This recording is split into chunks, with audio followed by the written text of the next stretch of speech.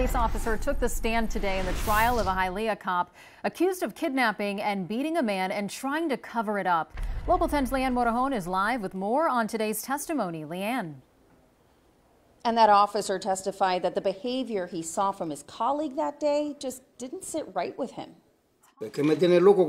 He's pregunta. driving me crazy with the same question. Jose Ortega Gutierrez, the victim of a beating allegedly at the hands of two former Hialeah police officers, finally ends three days of testimony, exasperated. I have answered it more than 10 times. The state then called Officer Jeffrey Abascal. He too responded to the December disturbance at a Hialeah bakery where Gutierrez would be taken into custody.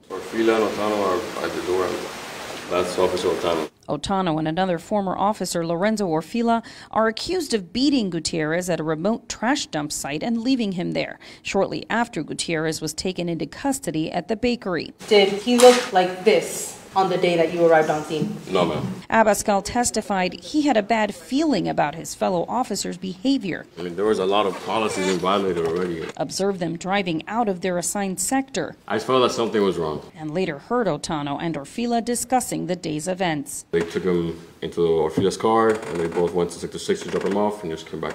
There was some type of nervousness in there. Orfila and Otano were assigned to Sector 4. Sergeant Javier Barrios was assigned to that sector back in December and says Otano violated policy, never activating his body camera or filing any paperwork about an arrest. Are you aware at any point that during that call, someone had been taken into custody? No, I wasn't. An internal affairs detective says Otano never logged anything on his daily activity report. He has to fill one of these out. He has to sign it.